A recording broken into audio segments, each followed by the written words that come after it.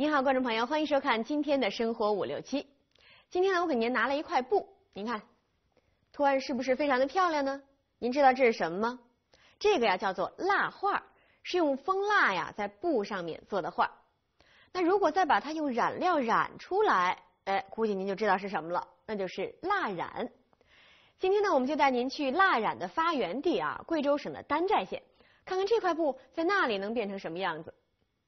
丹寨山多云雾也多，有着“云上丹寨”的美誉，几乎每个村寨都保留了独特的风俗。去那里旅游体验当然最重要。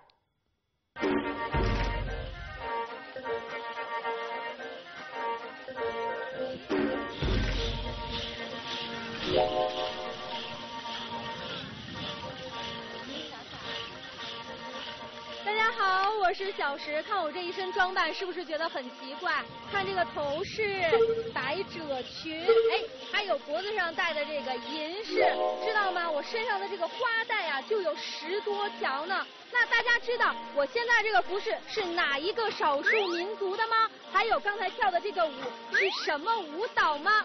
我现在呢就在贵州丹寨县的一个苗族村寨里边，穿的呢自然就是这个苗族服饰中的一种。刚才和大家跳的这个舞蹈叫做锦鸡舞。锦鸡舞是国家首批认定的国家级非物质文化遗产，动作简单易学，队形多变，节奏欢快。每逢节日的苗寨，妇女们都会跳起锦鸡舞，游人也可以随时加入。不过锦鸡服可是各有不同的。小时我穿的这身呢，可是未婚少女才能穿的哟。这个呢，就是刚才教我跳锦鸡舞的美女杨丹了。大家好。啊，你好，我想知道。就是我们刚才跳的这个锦鸡舞，我知道就是模仿锦鸡而跳的舞蹈。对。那为什么我们苗族要跳这个舞蹈呢？因为我们的苗族祖先在迁徙的过程当中，就那个锦鸡就救救救了我们苗族祖先人的命，所以呢，我们苗族特别崇敬崇拜锦鸡，我们就要模仿它走路的步伐，编织了这个锦鸡舞。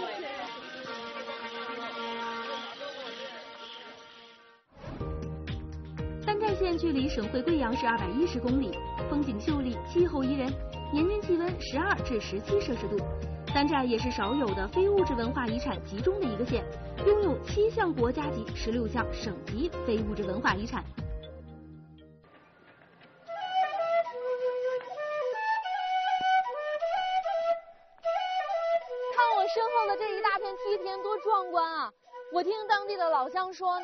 秋天，这里的稻谷都熟了的时候，漫山遍野的金黄，非常的漂亮。不过再过一个多月呢，这里的雨水量多的时候，到时候梯田就会都变成水田，水映着天，天衬着田，那种感觉真是别有一番味道。说起这个水田啊，我想起来这里的水牛是非常的多。当地的苗族老乡们啊，在农闲的时候还会举行这个斗牛比赛。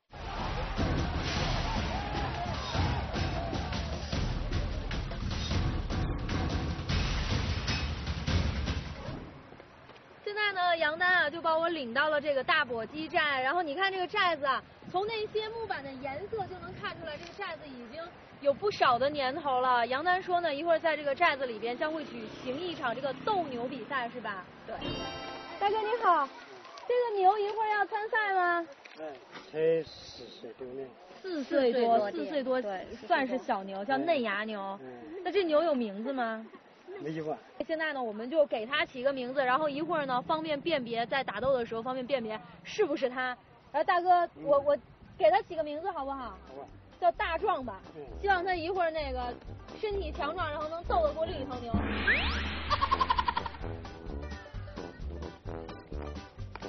哎呦，我刚一看这头牛就看着我。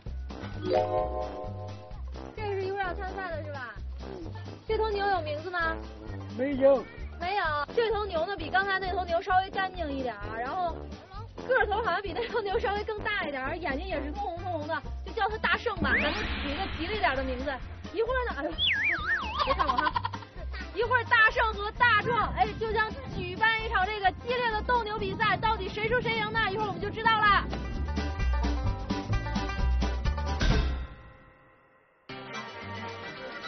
模仿锦鸡的舞蹈，美丽的膏药梯田，还有惊险刺激的斗牛比赛，哪头牛能在比赛中胜出呢？现场又出现了什么特殊情况？请继续收看《品游山寨风情》。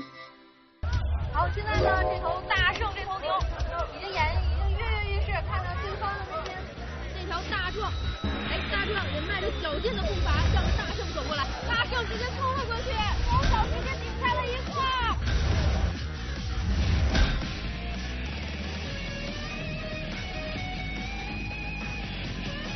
不不停的在拼命打，好，现在两头牛已经出现僵持的状态，两头牛牛角别在了一块，现在已经分不开了。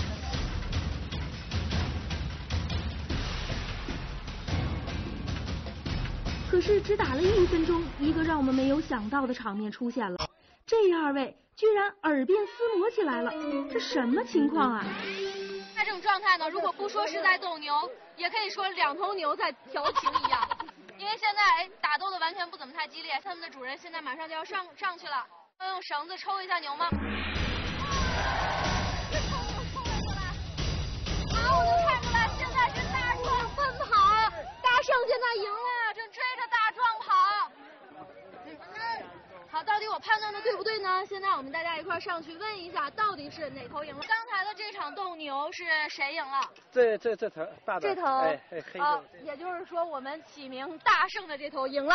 哎哎，他估计他打不赢他就跑了，哦，也就是说我们这个斗牛比赛输赢是看哎，就是说哪个跑了哪个就是输的。平时我们的斗牛比赛都多长时间？嗯，有十几分钟的，有半个小时的，一个小时都有，都有。嗯，都有。今天算短的。哎，这是短的。斗牛比赛深受丹寨苗族人喜爱，从苗历大年，也就是冬至的前一天开始，到第二年的春耕，几乎村村都要举行斗牛比赛。没有斗牛场，田间地头，把两头成年的水牛拉到一起，就要斗上一回。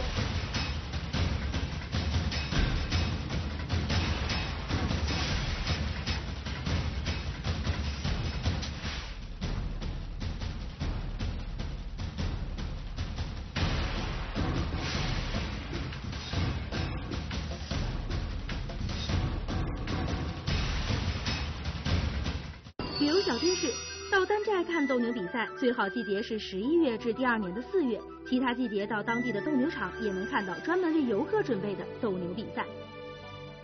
看完了斗牛，有一件事是您来丹寨旅游非做不可的，那就是亲自感受一下神奇的蜡染工艺。蜡染布啊，咱们许多人都见过啊，蓝底儿白花，非常的漂亮。可是您知道它要经过多少道工序，用什么染出来的吗？最让人叹为观止的是啊，那么精美复杂的图案，当地的苗族大姐居然不用打底稿，是直接在蜡染布上一气呵成就画出来的。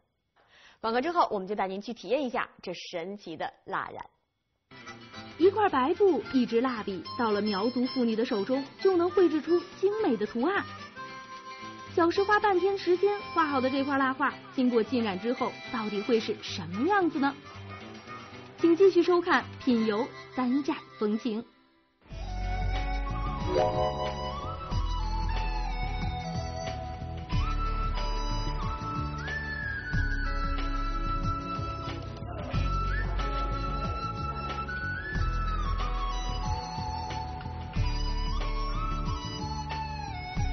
哎，看我穿的这么一套，并且拿这么特殊的工具在画画，是不是觉得很奇怪呢？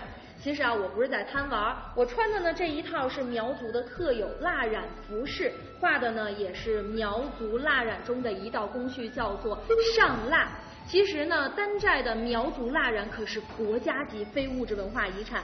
那么我们在其他地方也见过很多的这种苗族蜡染，为什么只有丹寨的这么有特色呢？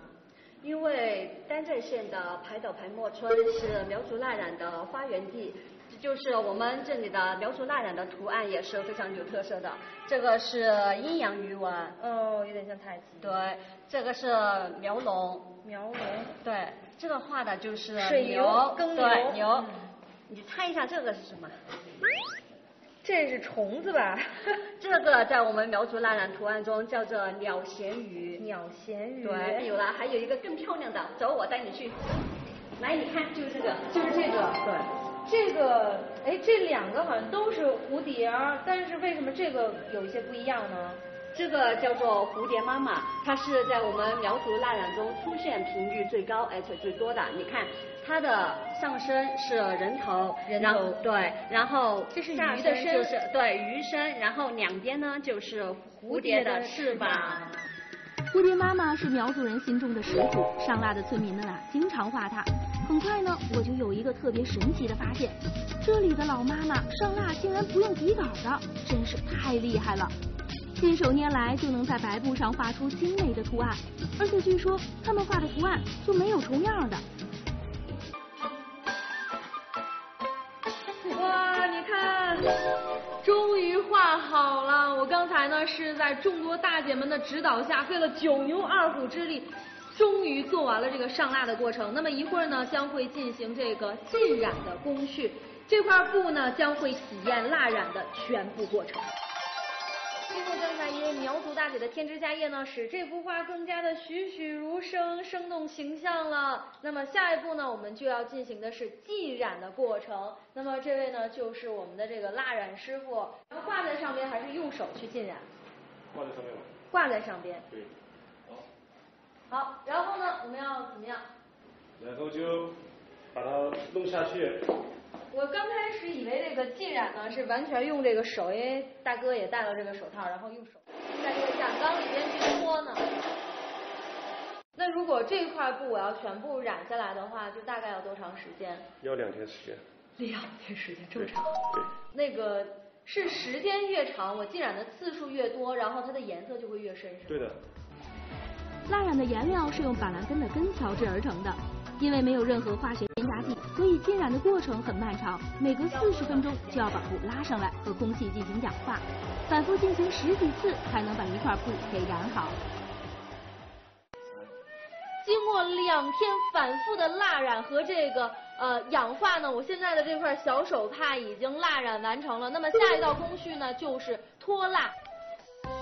脱蜡的过程倒是简单，把染好的布放到开水去煮，用高温把蜡融化。被蜡覆盖的部分就露出了白色，呈现出精美的图案。啊，已经出了颜色了！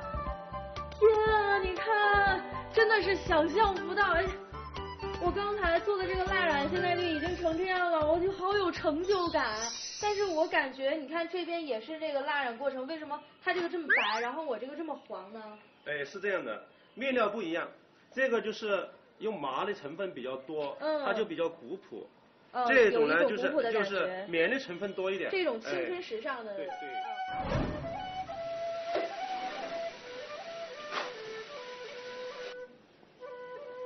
其实啊，刚才苗族大姐画的那些呢，大部分最终都会形成这样的苗族蜡染服饰了。其实这样的服饰在市面上卖要四百块钱左右，因为是手工蜡染的。那机械印染的呢，大概要三十块钱左右，很便宜。那我们在买的时候怎么区别这种是手工蜡染还是机械印染的呢？哎，就是靠这些细小不规则的裂纹。它是在染色的过程中呢，蜡块哎断裂开了，然后颜色渗透进去，就会形成这样了。苗族大姐跟我说呢，这些细小不规则的裂纹啊，其实就是苗族蜡染服饰的灵魂。如果游客要是喜欢这些苗族的蜡染服饰呢，也可以像小石这样买上一套穿着回去。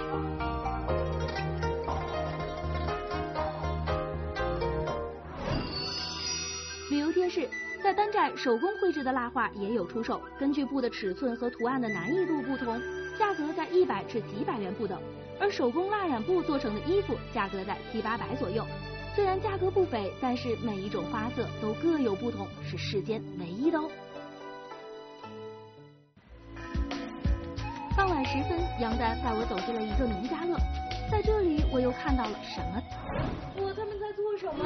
他们现在在做的就是对苗族刺绣。这个这个针真的是小的可怜，怎么那么小呢？我没手画小沙子。我我决定还是不尝试了。你仔细看这些这些线，线与线，颜色与颜色之间的这些。差别啊，线和另一种线的颜色完全融合在一块儿，而且非常细致，而且这种凹凸错落的这种感觉也非常非常的棒。而且你仔细看都看不见这个每根线的那种纹路，它们完全都是融合在一块儿了。我光看我就已经觉得非常非常的难了。难吧？对啊，我觉得像我这种粗枝大叶型还不适合这种针线的细活。我每一套这些的全部是绣的。哇，这些都是自己绣的。哎。那你绣这一套要花多长时间啊？几年。几年。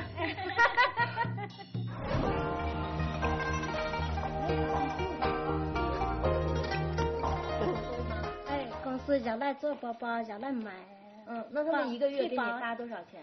一千多哎。一千多。哎。刚才大姐说，你看这一幅幅精美的刺绣呢，一会儿是要做包包的。那我现在能看一下这个包的成品吗？当然可以了。好，我去那边看一下。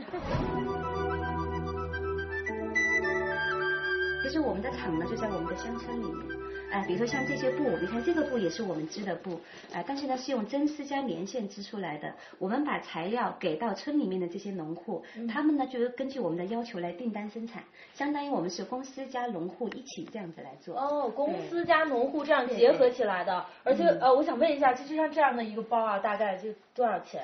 呃，我们这里的价格呢，它是这样，它是根据我们有几百块的，也有几千块的，根据它的手工技艺的不同。难度的高低来定价钱。像像这样的呢？像啊，这个包包四百多。四百多。啊，四百多，对。那你这里边最贵的是哪一个？啊，像这个信封包。哇。这一看确实不一样，因为里边确实有很多线，哦，上面还有这些毛毛皮，这边背面也是。但这个刺绣和那个呢就不一样。贵州的苗绣之所以有特点，是因为它的技法有很多种。像这种呢叫皱绣，它是用十三根线先打成小辫子，再用小辫子来绣成图案。那岂不是很难？啊，对对，难度非常高。像这一个面积，一个绣工大约要绣四十多天。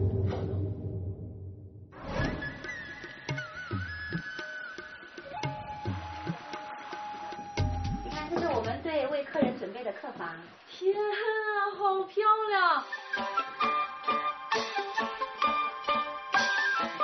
哇，这个床，我的天啊！啊，我真的是觉得外边是别有景致，但是里边呢却是另种风情。看看洗手间怎么样？哎，也不错，干净卫生，然后设施也非常齐全，它有浴霸，然后有呃热水器。那其实这里边这个设施非常齐全，但是有一个哎，就是看这个风扇，因为我看了一下，整个房间是没有空调的。但是这个山里边雾气还是非常大，而且早晚有一些冷，所以建议游客要是过来游玩的，一般要在哎春夏的时候过来，而且要注意添加衣物。像这样的一个房间要多大概多少钱？啊，四百多。四百多一晚上吗？一晚上。我们这儿不单单是住，呃，包括喝茶，呃，包括体验手工。真是越来越喜欢这里了，就让我在这儿好好享受一晚上。旅游小贴士：在九寨沟，苗绣包根据刺绣的难易度不同，价格在四百至七千元之间，可以打折，但折扣不多。住宿每晚四百元左右，价格有些小贵。不过这四百元还包括了吃饭、喝茶、体验苗绣、游泳等项目。旅游新观察。当地采用公司加农户的方法发展特色旅游产品，既能保证农民收入，又保护了传统文化。一站式一条龙的住宿服务，用自己的特色留住了游客。乡村中国行，现在就出发！大家看啊，这就是小石画的那块布了。啊，严格来说啊，它是在苗族大姐给他画好的题稿上描出来的。哎，不过也不错了，虽然有些地方粗糙了一些，但是整体上还是很漂亮。如果你也去那儿旅游，也像小石一样亲自动手画上一幅世间独一无二的蜡染工艺品带回家，是不是也可以在好朋友面前好好的吹一吹牛呢？其实现在市场上手工蜡染布的仿制品有很多，有的呢连裂纹也能仿造出来呢。我在这儿呢再教您一个高招。如果把两张相同的这个蜡染布啊放在一起，一样的位置，如果有同样的裂纹，那肯定是假货。好了，今天节目就到这里了。